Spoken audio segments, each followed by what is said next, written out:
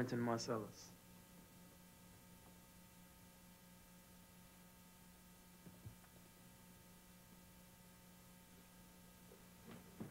I started playing the trumpet when I was six years old. And even though I wasn't aware of it at the time, the roots of my jazz playing began more than a century ago. With all the heroic individuals whose need to express their humanity gave birth to this uniquely American democratic art form we call jazz. A music sustained by successive generations of musicians who figured out how to play it, brought it as far as they could, and left what they could as a mark for others to shoot for, to learn from, and also to surpass. That's my background and my inspiration. The history and tradition of this great music, and it's essential to anyone who wants to play jazz or listen to it with a genuine level of appreciation. Those of us playing today have access to this history through books, records, music schools, and even shows like this. But what about those early players? the ones who played jazz before it even had the name. They had an entirely different method of learning. First of all, simply by doing it, sharing their music with each other and being fortunate enough to live in communities which encouraged, even celebrated their creations. New Orleans, where I'm from, was the home of much of this early music. And what was played at parades, funerals, picnics, weddings, parties, bars, sporting houses, and all night dances soon developed that extra swing picked up from blues, ragtime, and just the rhythms and rigors of life. The cornet, the darker sounding brother of the trumpet, was the lead instrument in these bands and the first jazz musician to make the instrument famous. In fact, first major jazz figure was this man, Buddy Bolden. Buddy's career began in 1895. He was a star attracting people through his personality and his playing. Among the great players after Buddy were Mutt Carey, Freddie Keppard, Bunk Johnson, Manuel Perez, and Joe Oliver, known as the King, King Oliver.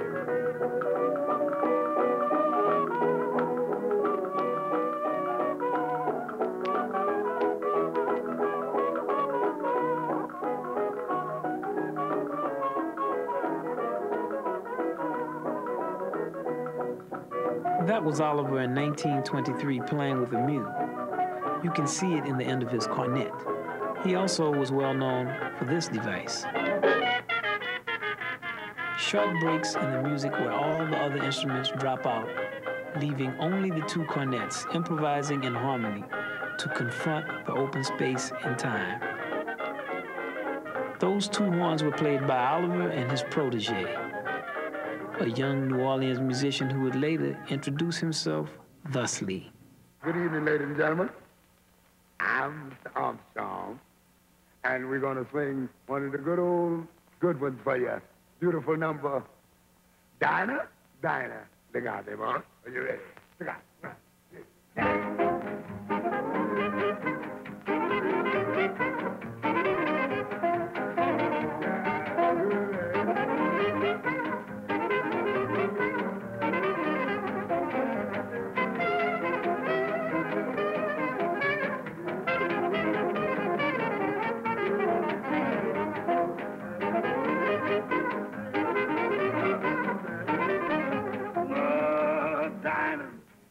Anyone finer in the state of Carolina. If there is, then you know, show to me.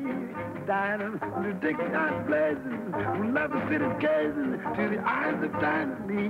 Baby, every night, one eye, shake with right on. Cut my dynamite, change your mind. Did this, Did you want to do China, baby? I'll have no line, oh, baby. Oh, Dinah, Dinah.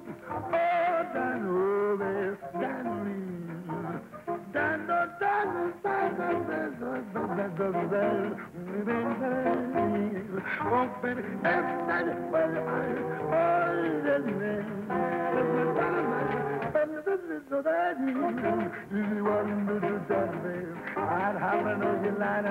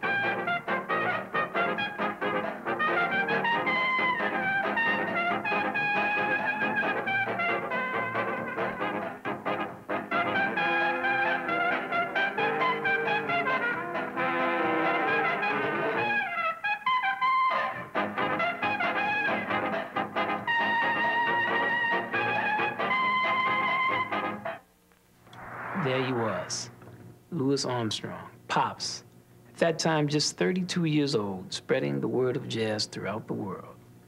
Playing, singing, being. Louis Armstrong personified American jazz.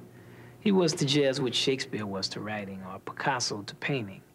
He redefined everything that had taken place before him and influenced everything that came after.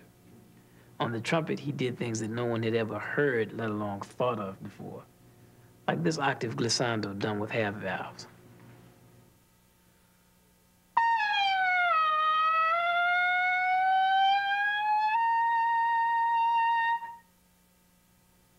Trumpet players trying to figure out how to do that from listening to Louis on the radio or phonograph would have to give up and wait until Louis came to town so that they could be frustrated by seeing him do it live. I've heard that he could hit 100 high C's in a row, so great was his endurance. And the first time he went abroad, European trumpeters insisted on inspecting his horn for hidden devices. They just couldn't believe that someone could play like that without some sort of artificial assistance. But Louis's contribution to jazz was much, much more than his overwhelming technique. It was his feel, his phrasing, his sense of time. Singing or playing, he could breathe life into the simplest popular song and turn it into a timeless masterpiece. I'm watching the sea, the one I love soon come back to me. Steady, steady, I covered the world run in search of my love, and I'm covered by the starlit skies above. Oh, baby, every mind is shortly waiting, hoping it's on. Where would you? Are you forgetting? Will you remember? Will you return? I covered the one sun. I'm watching the sea. Girl, the one I love will soon come back to me.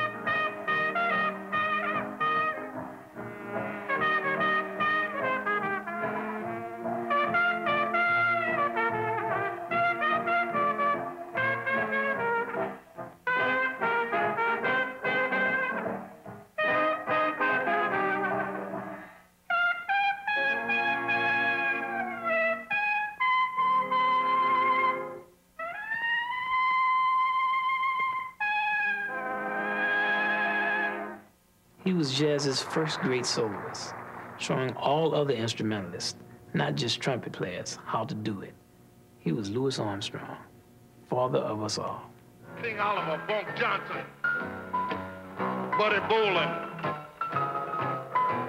George Bruner, Swinging Manon, Tony Perenni, Zutty Singleton, Luis Russell, Paul Barber, and all so many of the boys, Sidney Bechet, Louis Armstrong, they all were there. I was there with them. I couldn't miss. My father had the band, Henry Allen Sr., New Orleans.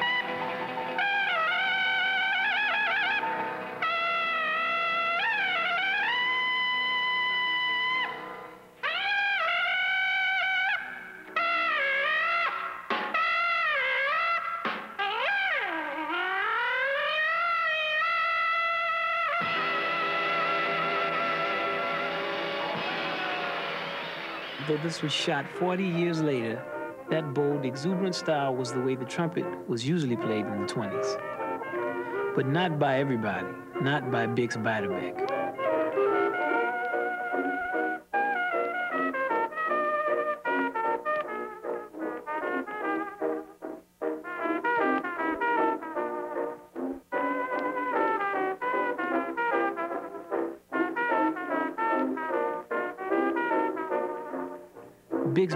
Developed a clear, light, open tone of his own and listened to Ravel, Debussy, and other European classical composers for some of his harmonic ideas. In his own time, he didn't have wide public recognition, but he was a strong influence on some other musicians, and many went out of their way to hear and learn from him. When Bix died, much too young at 28, his legend began to transcend his music, and he soon became sort of a romantic figure in jazz. Like Bunny Berigan, who also died young, only 34.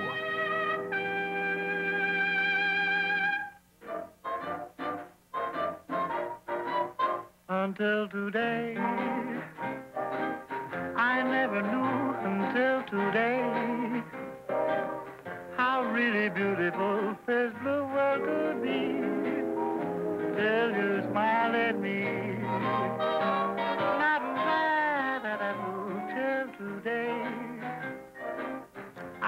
played jazz with Tommy Dorsey and other bands, and also often appeared with commercial bands like this one.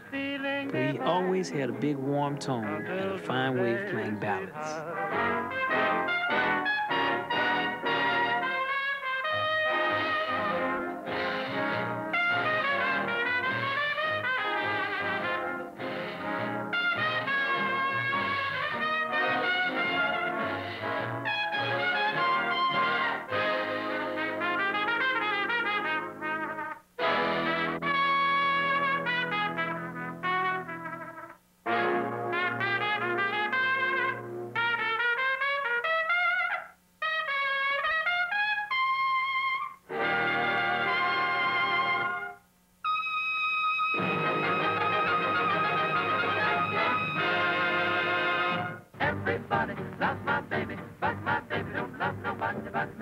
This is a band led by Red Nichols, a player a little in the style of Bix Beiderbecke, but with more commercial success. Some players were important in that they exerted tremendous influence on the history of music. Others had more of a social significance in that they were able to take some elements of jazz and popularize the concept of jazz to a wider audience. Everybody wants my baby. Case, where do you come in? How'd you do? do, do, do, do, do, do, do, do, by Hello Red. Why, hello, son. Say, Red, have you got you a gal? Why, certainly. Well, tell us, Red, what do you do when you serenade your pal? Treat, treat, treat, treat, treat, treat, treat, treat, treat, treat, treat, treat. Oh, Red, please don't sing. Pick up your horn and play that thing.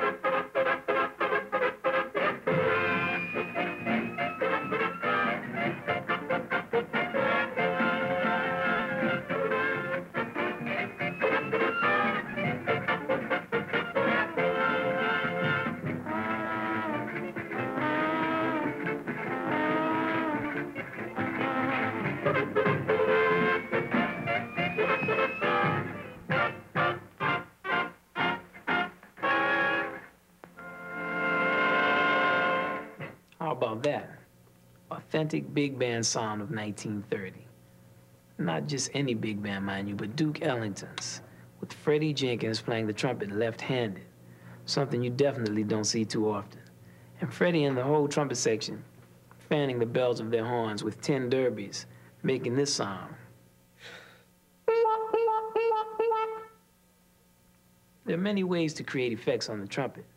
Derbies, mutes, growling into the horn, false fingerings, even bathroom plunges.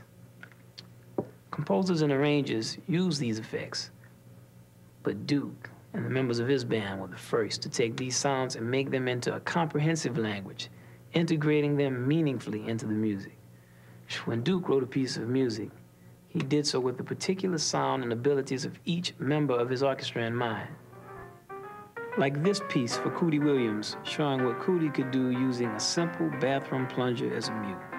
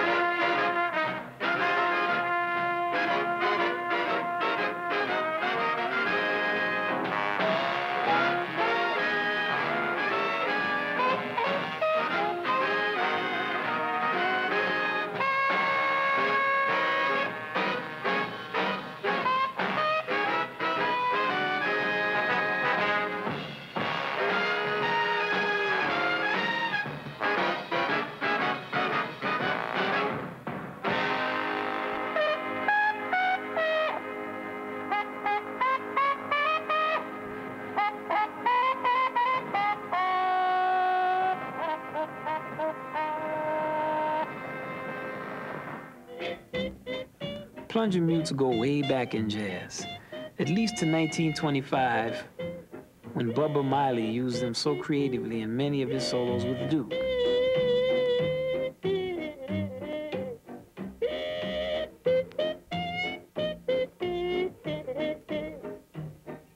This was a period when trumpet players like Louis and King Oliver were backing great blues singers like Bessie Smith, often using mutes to echo the sound of the human voice on their horns.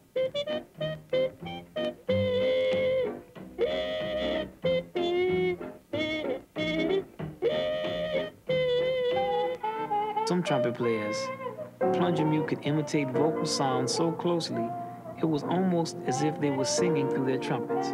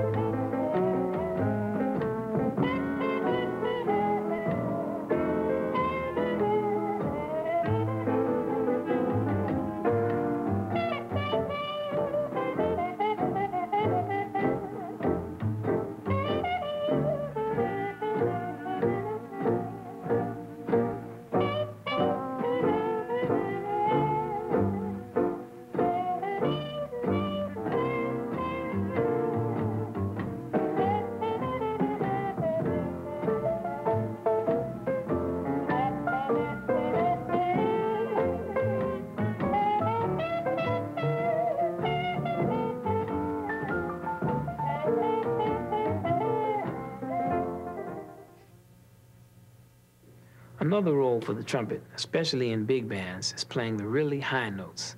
This is sometimes called the screech trumpet part. The normal range of the trumpet in European classical music was around high C or D, regular B flat trumpet. Those two notes.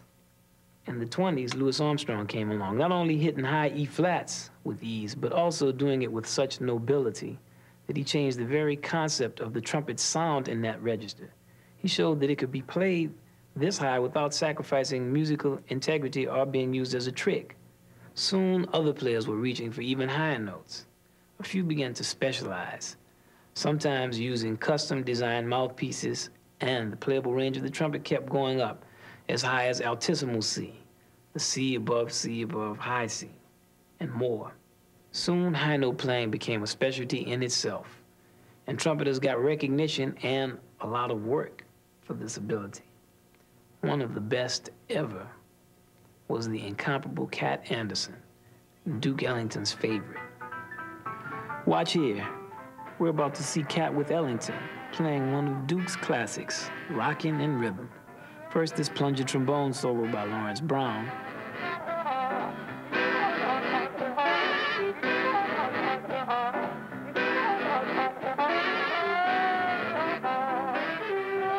was then joined by Cootie Williams on the left and Herbie Jones for more plunger work.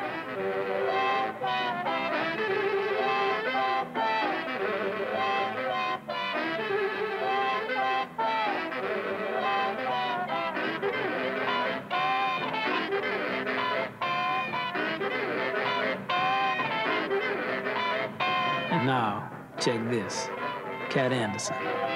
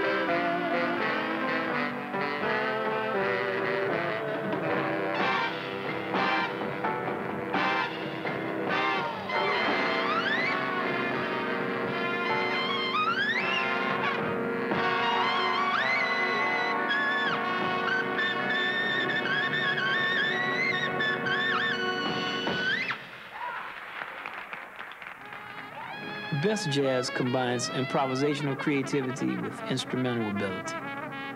But by the 30s, some trumpet players could become stars just on the basis of their dazzling technique, like Harry James.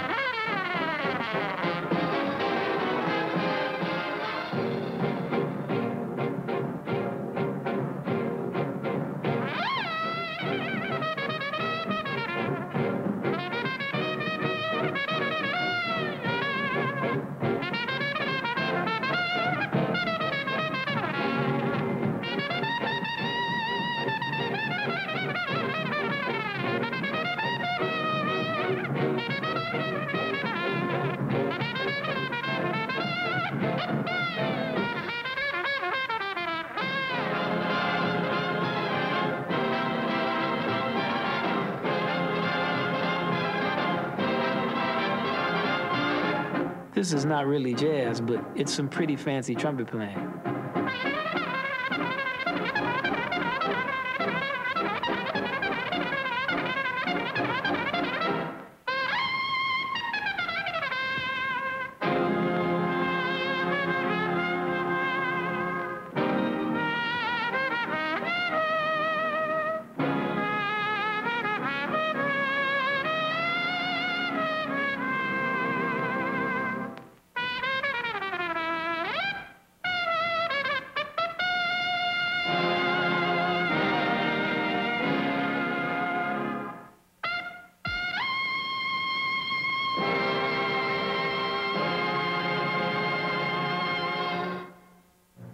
Someone once called jazz art for the moment, and that pretty well sums it up. Art that is conceived, structured, developed, and performed simultaneously in an unbroken stream of time.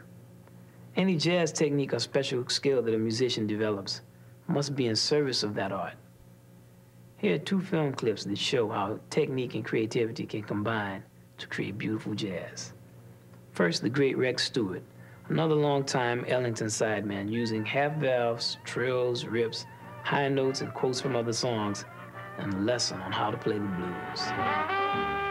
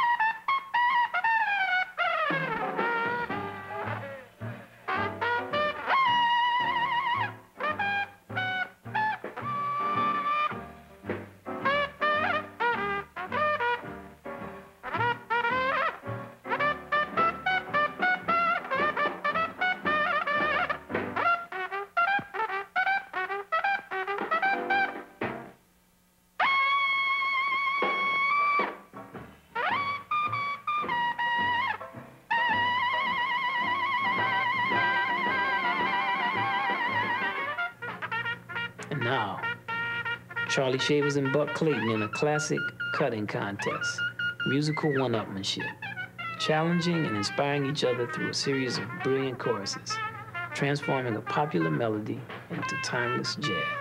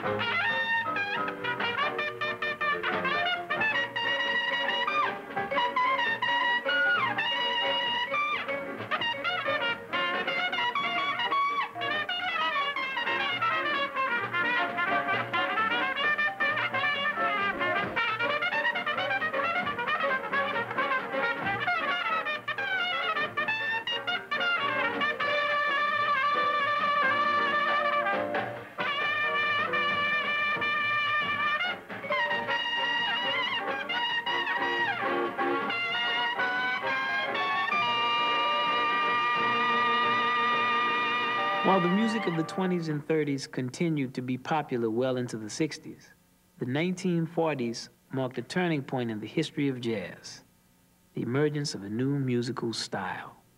On the trumpet, the bridge between old and new was Roy Eldridge, who played with the fire of a young Louis Armstrong and the dexterity of saxophonist Coleman Hawkins.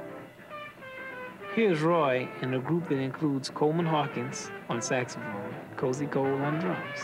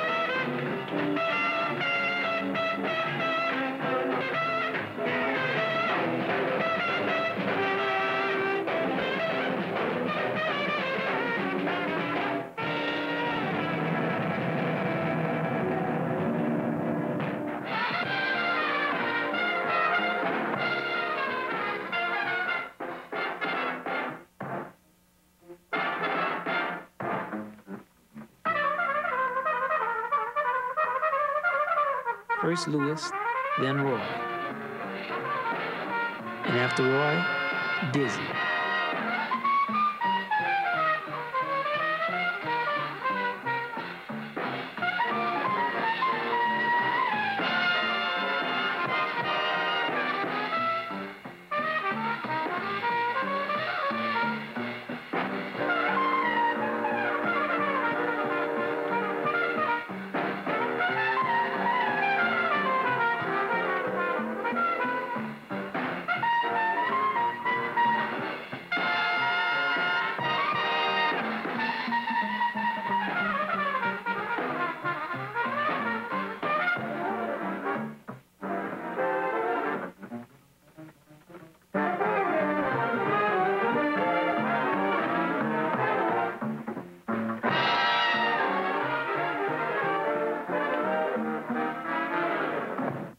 Very young Dizzy Gillespie, looking like me, in front of an orchestra he put together to translate the new music of bebop into the big band sound.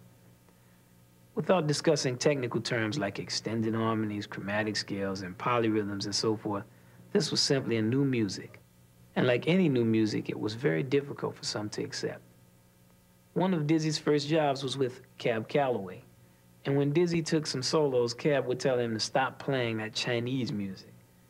And even Louis himself initially put Dizzy and Bebop down, singing a parody of the Whiffenpoof song, calling them poor little lambs who have gone astray. But actually, Dizzy did for the trumpet in the 40s what Louis did for it in the 20s. He changed the way players looked at the trumpet and the concept of what could be done with it. Even to this day, he is the only player to discover another way of playing rhythms different from Louis Armstrong. He also played so high and so fast and made strange intervals sound so easy. It was as if he was playing a new instrument. Twelve years later, Dizzy had matured and was playing a horn he designed to hear himself better. But the music was just as exciting. There was still no limit to what he could do with the trumpet.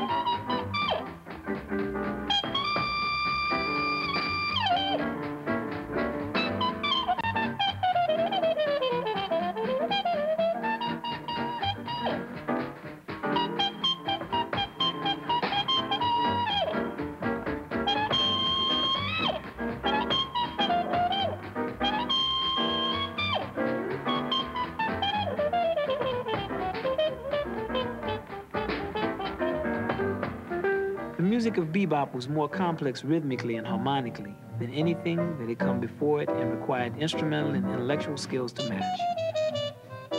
Some players and listeners associated this increase in skill and intellect with a decrease in emotion, but actually, it created room for even greater and more subtle forms of emotional expression. This is Fats Navarro, Fat Girl, who could play pretty at any tempo with his warm tone and all those grace notes.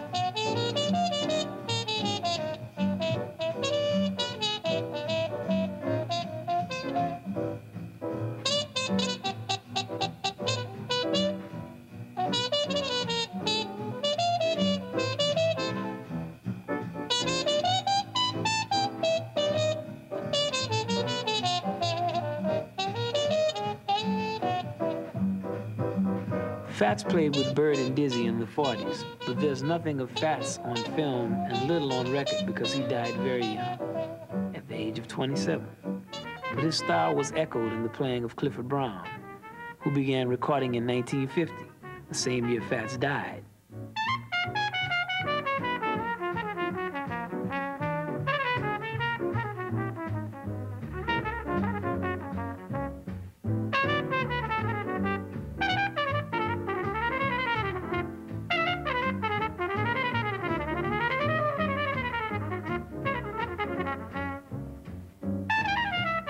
Years later, Clifford was dead in a car accident, only 25 years old. A tragically abrupt end to a person whose playing and personality was so full of promise in life.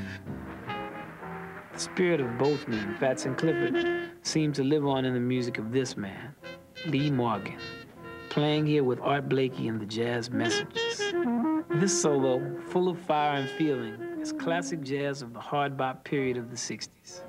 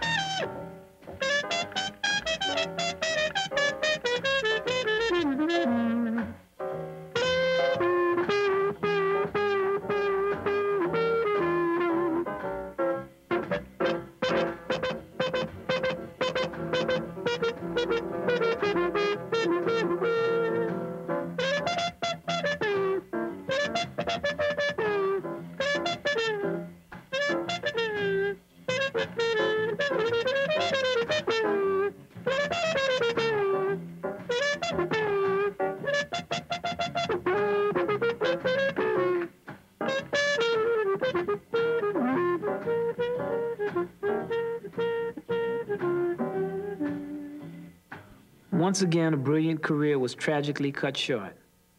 Lee lasted a little longer than Clifford or Fats, but he was dead at 34.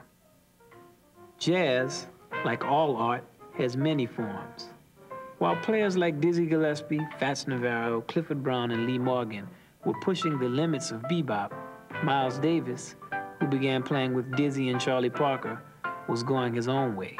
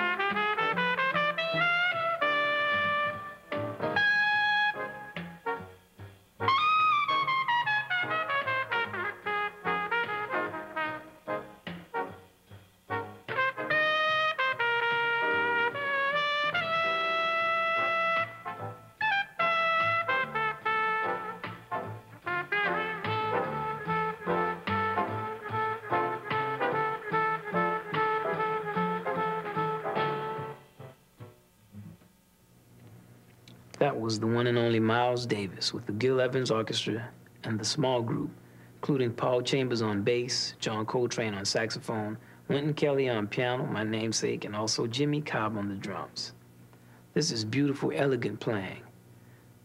Not the complicated music of bebop with chord changes every bar, but instead the simple structure of a few modal scales where the challenge is the creation of beautiful melodies that extend over longer periods of time with far fewer notes to choose from. Miles was a master at this type of playing, and his solos from that era were like poetry. Yet this was only one stage of his long career. From his beginnings in bebop, unlike many other players, Miles has never stayed in one place. He has continued to search for new forms of musical expression, sometimes with more musical success than others, but continually inspiring successive generations of musicians. Miles's playing in the 40s and 50s affected not just other trumpet players, but a whole style of jazz, which was called cool jazz.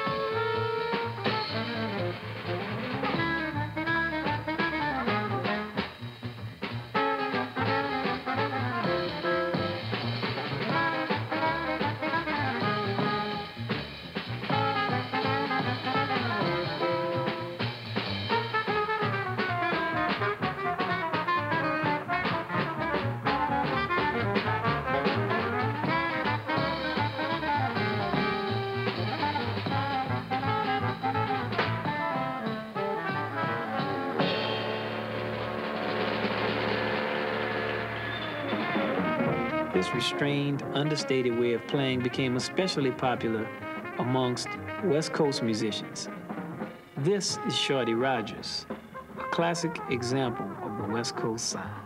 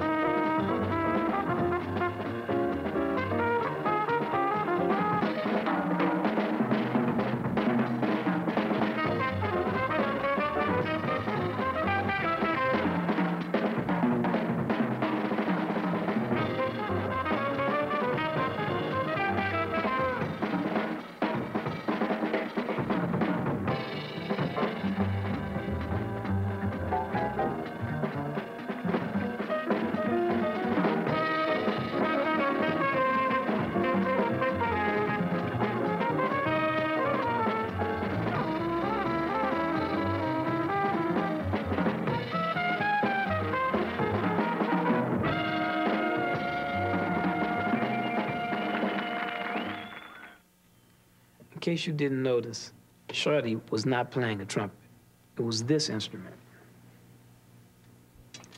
A flugelhorn, pitched just like a trumpet, but with a softer, mellower sound derived from its wider, more conical shape. Trumpet, flugelhorn, cornet. It's tough enough to play any of them, but can you imagine playing two at the same time? This is my musical daddy, Clark Terry. Listen as Clark uses the contrasting textures of the flugelhorn muted trumpet to construct this short, beautiful solo.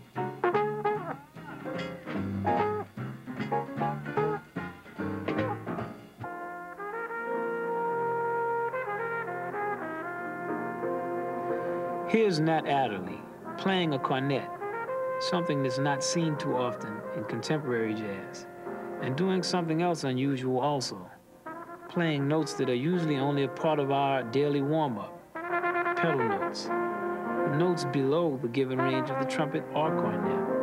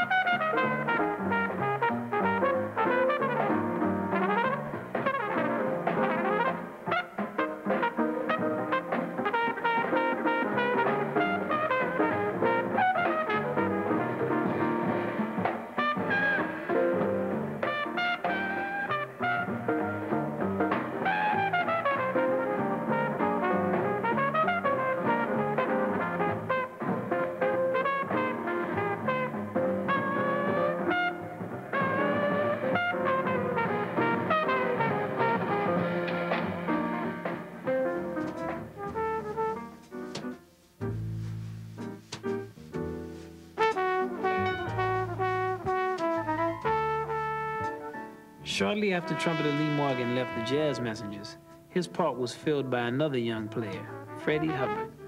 Ever since, Freddie has been one of the most powerful and gifted players on the jazz scene. Here, playing flugelhorn, he interprets the old classic, I Can't Get Started.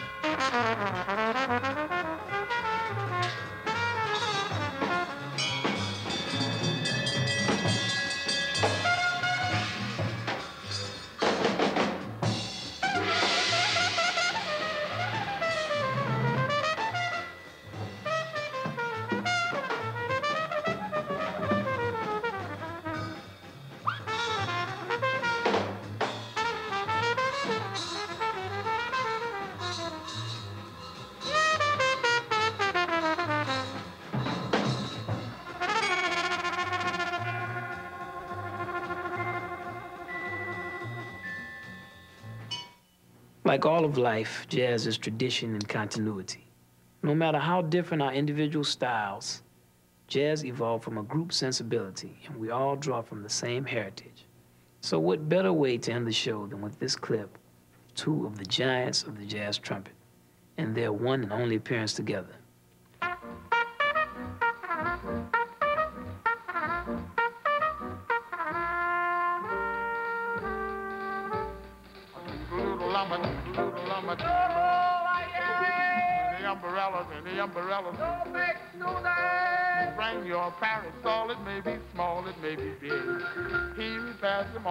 You call a thingamading.